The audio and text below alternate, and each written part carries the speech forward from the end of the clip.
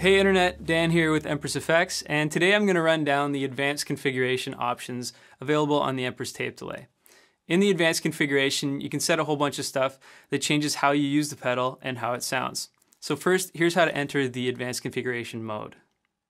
Unplug the power to the tape delay, then hold down both stomp switches and plug the power back in. You should get a couple of blinks on the bypass LED that will confirm you've entered the advanced configuration mode. Once you're in this mode, the toggles let you set a bunch of different configuration options in the tape delay. This graphic is in the user manual and should serve as a good reference. Let's start with the bypass control. The tape delay ships as a buffered bypass pedal. In other words, your delayed signal will keep decaying after you hit the bypass switch. By moving the delay time toggle to the right, while in advanced configuration mode, you can choose to use true bypass instead. True bypass physically removes the delay from your signal chain and will cut off the delayed signal as soon as your pedal is bypassed.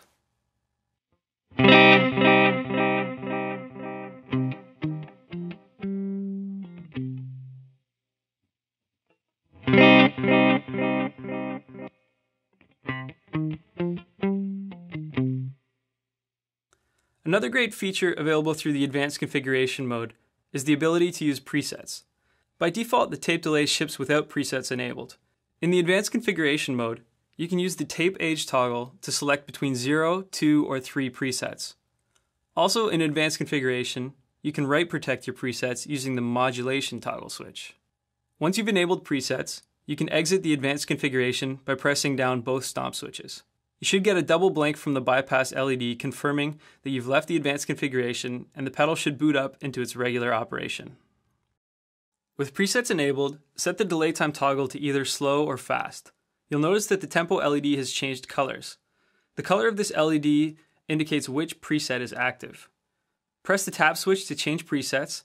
There's green, red, and yellow, and the blink indicates delay time.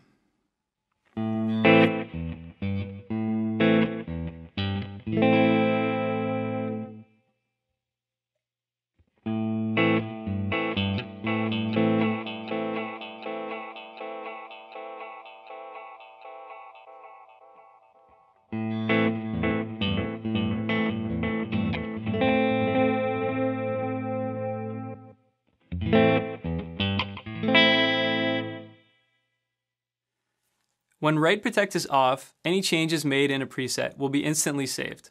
Once you've programmed your presets, I recommend going to the advanced configuration and write protecting them. Normally, the tape delay will have smooth transitions when changing delay times. There is, however, a mode we call blips that changes all that. In advanced configuration, move the filter toggle to the right to activate blips. Blips does two things. It changes how the delay reacts to changes in delay time and it changes the function of the tap switch when you're in slow or fast mode. Now there will be some crazy artifacts when changing delay times.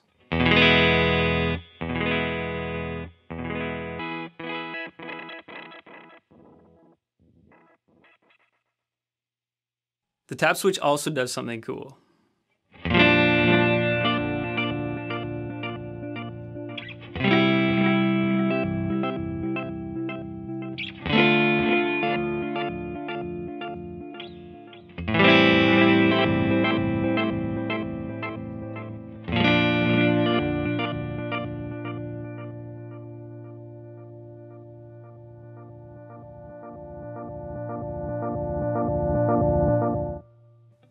You can perform a factory reset to restore all the original settings back to your delay.